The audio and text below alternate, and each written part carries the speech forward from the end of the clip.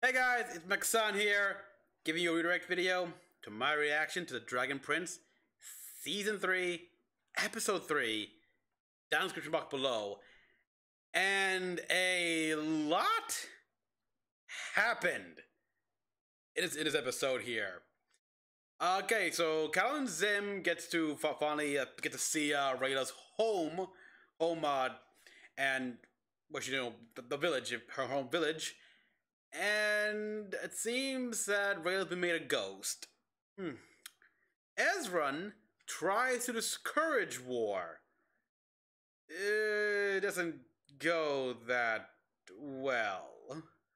And Claudia and Soren confront their father about the orders to kill the prince. Oh, and then we got uh, General Maya as enjoying the uh, hospitality of the Sunfire Elves.